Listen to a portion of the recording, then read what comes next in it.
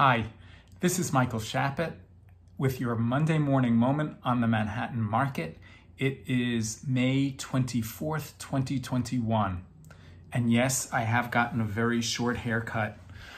Um, the market is moving quickly. Um, Manhattan has caught up with the suburbs and the rest of the country. Properties that come on the market that are priced well, that look good, are selling in days or, or sooner sometimes. What does this mean for you as a buyer?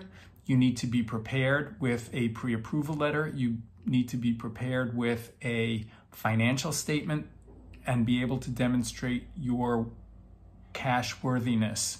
If you are a seller, you need to have your paperwork in order for co ops and condos. That means offering plan, amendments, financials, board applications. Um, things are moving quickly. Help us help you. Call with questions. Look forward to hearing from you. Thanks.